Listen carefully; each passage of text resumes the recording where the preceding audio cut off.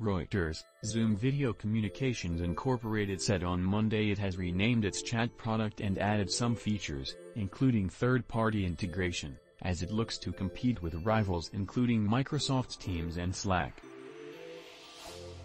Zoom's app, now known as Zoom Team Chat, will also include features such as the ability to share in meeting chat to team chat, schedule a meeting from chat or channel. The featured will be released by the end of the month.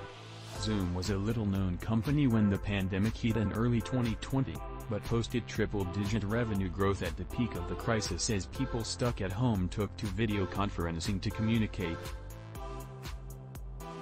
The company, which competes with WeChat Work, Microsoft Teams, Cisco WebEx and Slack, faces an uphill task of onboarding high-paying clients to sustain its growth at a time when several firms are shifting to hybrid work.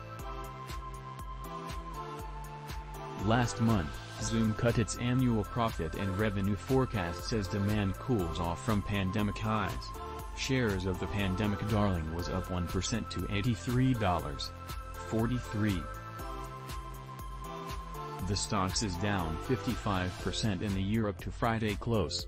Reporting by Tiyashi Datta in Bengaluru, editing by Ankur Banerjee.